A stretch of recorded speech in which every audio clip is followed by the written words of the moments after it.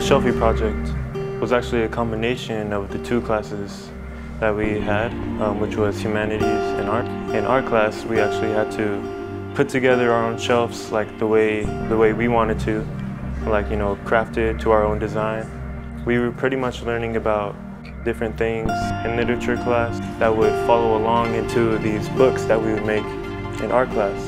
So these books had included learnings of Jean-Michel Basquiat, learnings of like different monsters, and also learnings of like surrealism. We would write different kinds of stories relating to that art too. Uh, so like for example, we made monster stories, and then for art we made actual monsters. Of uh, they didn't have they didn't have to be um, from our story, but just some kind of monster. We created the story first, and then created the monster because to create the monster we had to have vivid details for the story.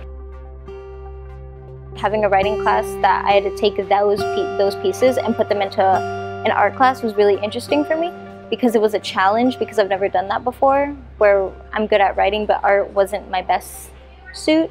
So I feel like being able to take my writing pieces and put them into a Photoshop or drawing really, really helped and having the art teacher support me along the way was really good. I made this uh, little monkey robot, so when I plug it into a computer,